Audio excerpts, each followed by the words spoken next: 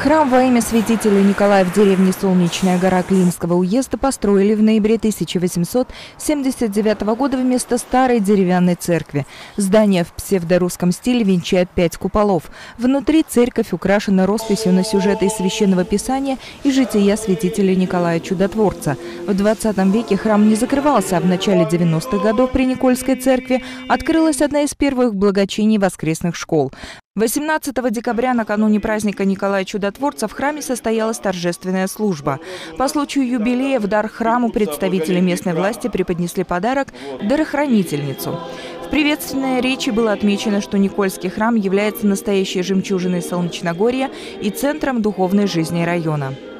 Я хотел бы в честь юбилея нашего с вами любимого храма от главы Солнечногорского района вручить в дар подарок, дарохранительницу. Спасибо вас, Господи, с праздником. На центральный престол она будет поставлена. Вот, я думаю, уже на, на словословии мы ее осветим и установим. Благодарим за чуткое заботу, за такие добрые слова. Антоний Церков, в свою очередь, вручил грамоты и благодарности нескольким прихожанам и служителям храма. 19 декабря на торжества, посвященные юбилею Никольского храма в Солнечногорск, с архипастырским визитом прибыл управляющий Московской епархией митрополит Крутицкий и Коломенский Ювеналий. Его встречали руководители района, священнослужители, ученики воскресной школы и прихожане Никольского храма. На праздничное богослужение собралось около тысячи человек.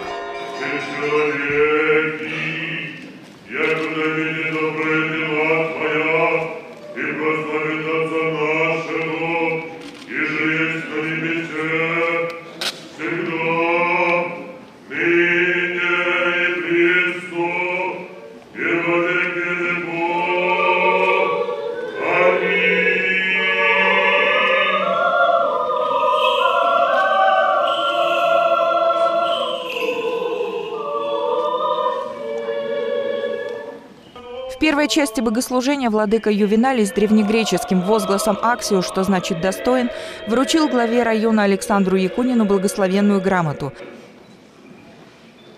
Служение Святой Церкви глава Солнечногорского района Александр Владимирович Якунин награждается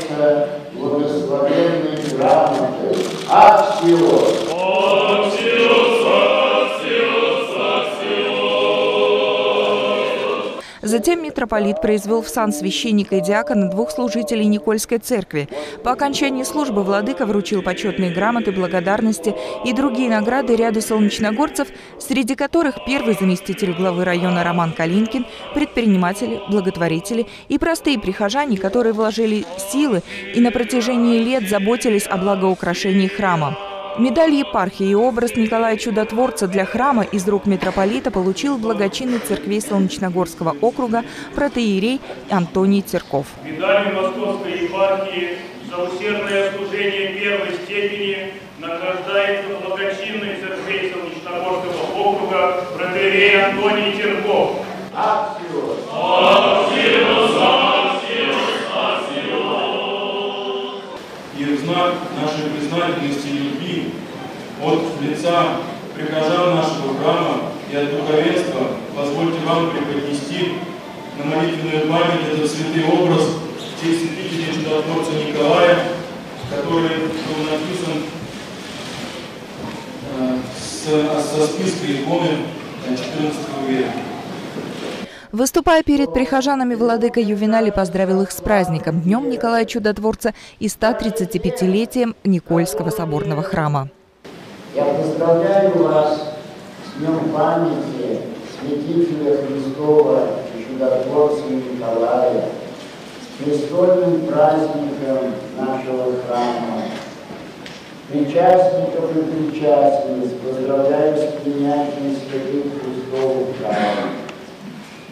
Желаю вам хранить в своем сердце любовь к Богу и ближним и почаще прибегать к молитве, которая помогает нам жить и нести наш жизненный крест.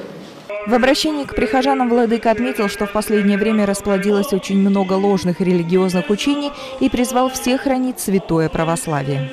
Я призываю вас ближе быть к вашим пастырям, быть верными сынами и дочерьми нашей Святой Церкви, потому что она насажденная тысячу лет тому назад, когда святой равноапостольный великий князь Владимир и сам принял крещение и крестил Русь.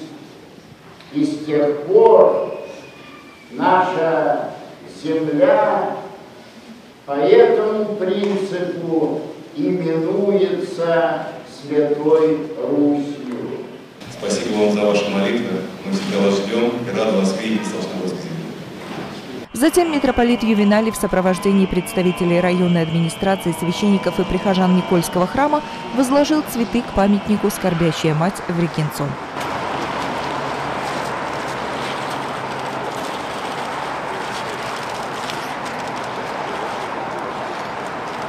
Юлия Беспалько, Татьяна Бауэр, Евгений Корнилов, Солнечногорское телевидение, информационная программа «Наше время».